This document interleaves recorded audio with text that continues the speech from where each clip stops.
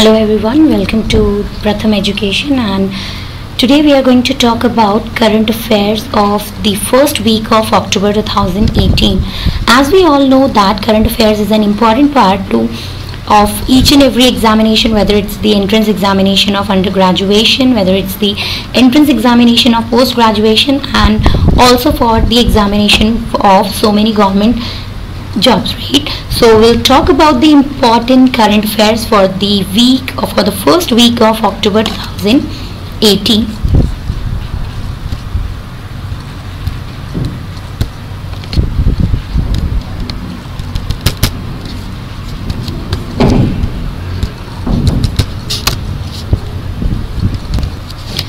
First, we'll talk about the important days that are celebrated or observed in the first week of October and in this list our first day is World Habitat Day. So when we talk about our World Habitat Day, basically World Habitat Day is observed on the 1st October as you can see it here. So the World Habitat Day is observed on 1st October. In fact, it doesn't have a fixed day but fixed date but it has a fixed day that is the first Monday of October. So every year World Habitat Day is observed on the first Monday of October and the theme for this day was Municipal Solid Waste Management as you can see it here. So there can be two to three questions on this topic on this uh, particular news that World Habitat Day is observed on which date. So this day is observed on this year it was observed on 1st October but basically it was observed on the first Monday of October. Second what was the theme for 2018 for World Habitat Day. So the theme for the World Habitat Day 2018 was Municipal Solid Waste Management. The second important day International Day of Older Persons and this day is observed on 1st October every year and it is the day that is there to reaffirm the commitment to promoting the full and equal enjoyment of all human rights and the fundamental freedoms by the older people. And when we talk about the theme for this particular day the theme is celebrating older human rights champions the theme is celebrating older human rights champions. The third important day is international day of non-violence. So when we talk about non-violence we can relate it to the national uh, we can say that we can relate it to the father of Indian nation Mahatma Gandhi. So this day uh, we can in fact say that this day is celebrated or observed in the memory of Mahatma Gandhi on the birth date of Mahatma Gandhi and the date is 2nd October and we don't have any kind of theme for this day but yes we can say that Mr. Guterres right uh, the Secretary General of United Nations, he called on the world to follow the enduring vision and the wisdom of Mahatma Gandhi on this day. Next important day is World Teachers Day. When we talk about this day, here we are not talking about the National Teachers Day, but we are talking about the World Teachers Day. We all know that National Teachers Day is observed on 5th September, but World Teachers Day every year is observed on 5th October and the theme for this day in 2018 was the right to education which means so basically here the theme was focused on the right to education and a well qualified teacher. So the theme is the right to education means the right to a qualified teacher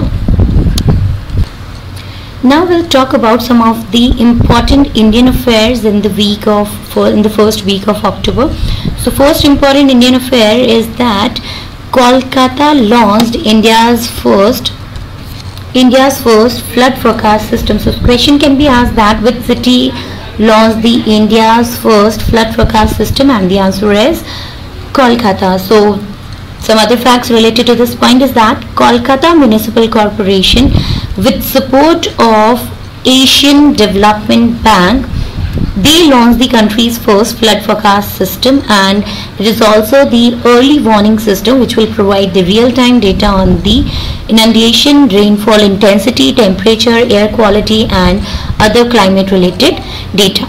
Next point is the Mukesh Ambani is the wealthiest Indian for 11th year. Now here the important point is first who is the richest Indian? We all know that Mukesh Ambani is declared as the richest Indian from the last so many years and this is the 11th year that he is, he has been announced as the richest or the wealthiest Indian. We all know this man, the chairman of Reliance Industries, right? And in fact, we can say that oil to telecom conglomerate Reliance Industry Limited, uh, Limited chairman Mukesh Ambani has again topped the Forbes annual list of India's 100 richest for the 11th straight years, which with a net worth of 47.3 billion dollars. So the net worth is 47.3 3 billion dollars okay now the next point next point is that Odisha launched Nirman Kusum Yojana to provide financial assistance to children of the construction workers for pursuing technical education. Now this point is important because there can be a question like which state launched the Nirman Kusum Yojana to provide the financial assistance to the children of the construction workers. So there can be two to three kind of question on this particular news.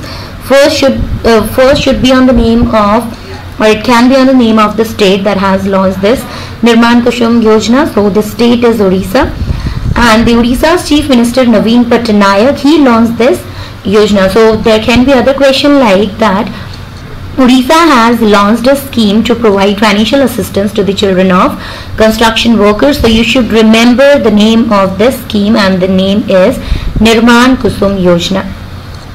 Next important point. Now here we'll, we'll talk about the ranking of India in a particular ranking and this ranking or index is government e-payment adoption. So when we talk about government e-payment adoption, we can say that the this global ranking of e-payment adoption by the government of different countries in this ranking. So as an Indian for us important is the rank of India. So the rank of India in this ranking is 28 but for us it is also important to know that which country topped that particular ranking. So if we talk about this ranking the top ranked country is Norway. So top ranked country is Norway in government e-payment adoption and the rank of India is 28 Okay, now next point is that Apple displaced Google to become the top brand in the world. So basically we can say that Apple is the world's top brand.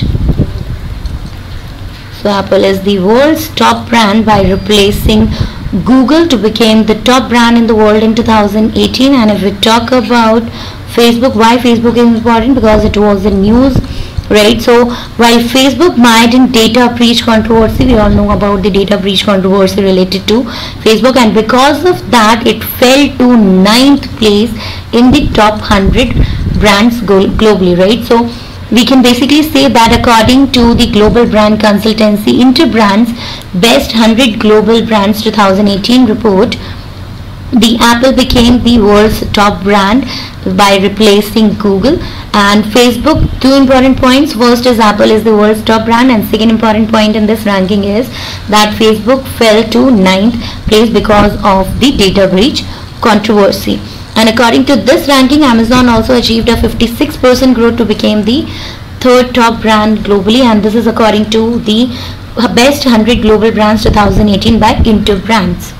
Now next point is Paytm topped the UPI payments with over 33% market share. So now when we talk about Paytm, basically we can uh, simply say that if we talk about the UPI payments, the Paytm topped with the overall market share of 33%. So Alibaba and SoftBank backed Paytm. So we all know the two companies in, at the back end of payment is Alibaba and SoftBank. So Alibaba and SoftBank back into Paytm said that it registered over 137 million UPI transactions in the month of September and by this it became the leading contributor to the UPI. UPI here means the Unified Payments Interface. UPI means Unified payments interface payments with over 33% of the overall market share and that's a huge number. In fact, the company also announced the launch of its spam-proof SMS inbox as a part of Paytm inbox. And if we talk about this particular company, Paytm, you should remember the name of the CEO of Paytm and the name is Renu Sethi. And the name of the founder of the Paytm is we all know this man Vijay Shekhar Sharma. But with this you should also remember the name of the CEO Renu Sethi. Okay and if we talk about the parent organization of Paytm parent organization is One97 communication Okay, now next important point is that Tata Communication acquired an IoT firm Teleena. So when I talk about Tata Communication, Tata Communication, we all know that it's a leading global digital infrastructure provider. It has acquired Teleena, which is a Netherlands-based Internet of Things. So IoT here means Internet of Things. So Internet of Things connectivity specialist and a mobile network, mobile virtual network enabler so we here the important point is that Tata Communication provides which Netherlands based IoT connectivity specialist that the name of the company is Teleena or uh, it can be asked vice versa also that a Netherlands based company Teleena has been acquired by which company? So the company is Tata Communication. Next point is Bharti Airtel acquired the technology of artificial intelligence service provider Authme ID Services. So the name of the company is Authme ID Services. So we can say that Bharti Airtel has acquired this Authme ID Services. The latest move will augment Airtel's initiative to serve customer with new digital products. So you should remember these two names that Authme ID Services has been acquired by Bharti Airtel. Now we'll quickly talk about the important appointments that has been done in the first week of October. The first appointment is at the post of UNICEF Special Representatives of Young People. Why it is important for us? Because it is an international organization and an Indian person has been appointed at this post. So UNICEF Special Representative of Young People is the Ravi Venkatesan. So when, when Ravi Venkatesan has been appointed as UNICEF Special Representative of Young People. Second, the post is President of Indian Newspaper Society and the person who has been appointed at this post is Jayant Mammen Mathew. So Jayant Mammen Mathew has been elected as the President of Indian Newspaper Society. He was the executive editor of Malayala Manorama and now he has been appointed as the president of Indian Newspaper Society.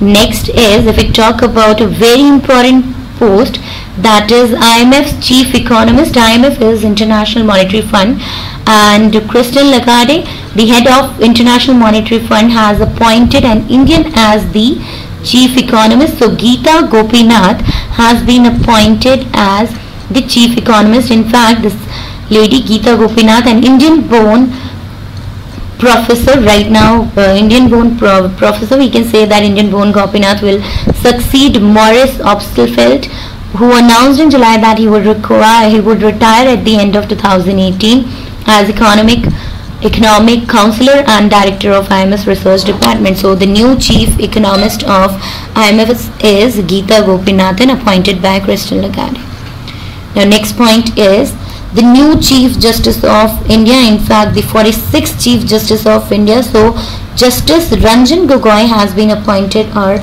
uh, he has sworn in as the Chief Justice of India, in fact the 46th Chief Justice of India and if we talk about the 45th Chief Justice of India, so the 45th Chief Justice of India was Deepak Mishra. Now next so when we talk about ICICI Bank's MD and CEO, the earlier ICICI Bank's MD and CEO was Chanda Kochhar. And Chanda Kochhar quit with, from the post of MD and CEO of ICICI Bank and now Sandeep Bakshi has been appointed to succeed her as the MD and CEO. Here two to three points are important. First, who resigned or quit from the post of MD and CEO of ICICI Bank. The name is Chanda Kochhar. And second is who has been appointed in place of Chanda Kochhar as the MD and CEO of ICICI Bank. The new person is Sandeep Bakshi. So Chanda Kochhar quit the bank with immediate effect. Kochhar led ICICI Bank since 2009 and her third term was due to end in March 2019.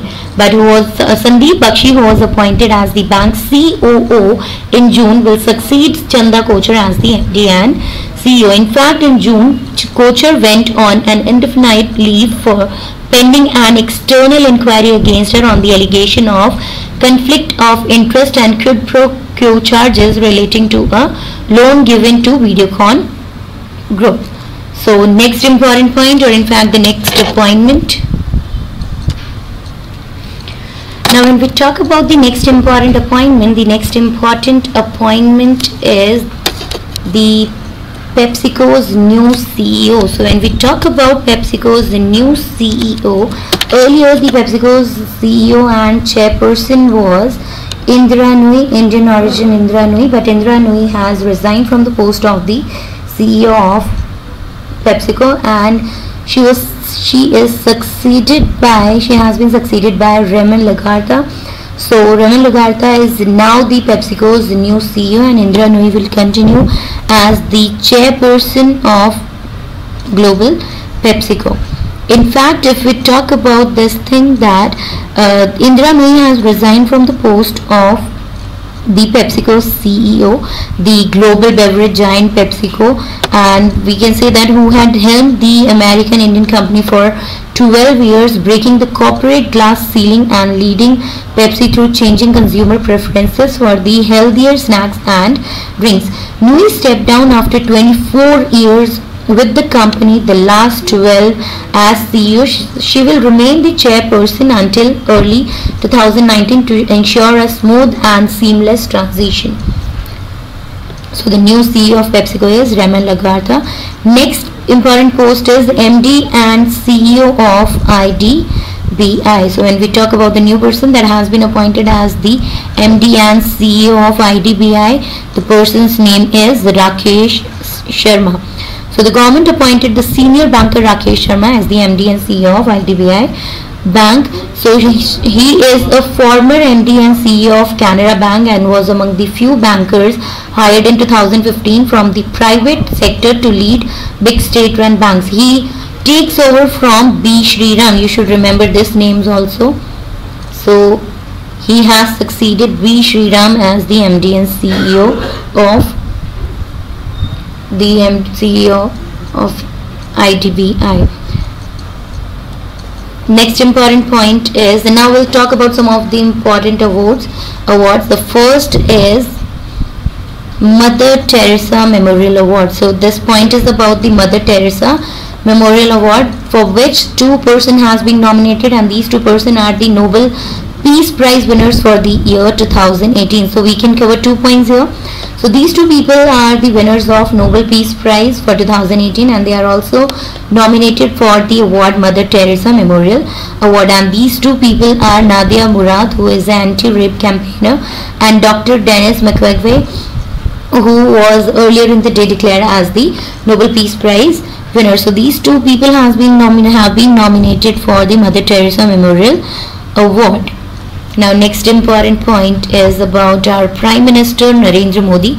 So our Prime Minister Narendra Modi, he has received the United Nations Champions of the Earth Award and when we talk about this award, United Nations Champions of the Earth Award, it is the highest environmental honor of United Nations.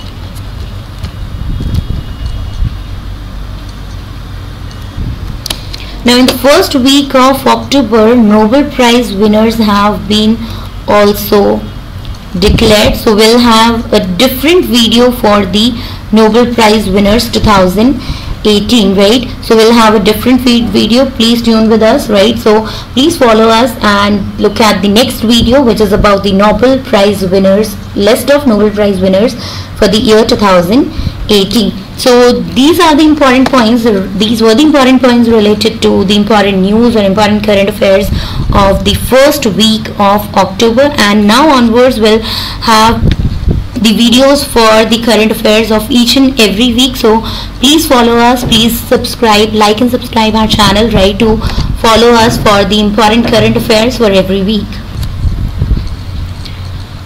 so thank you for watching this video. Please like subscribe and follow us for more important current affairs related to each and every week. Right thank you. Thank you for watching the video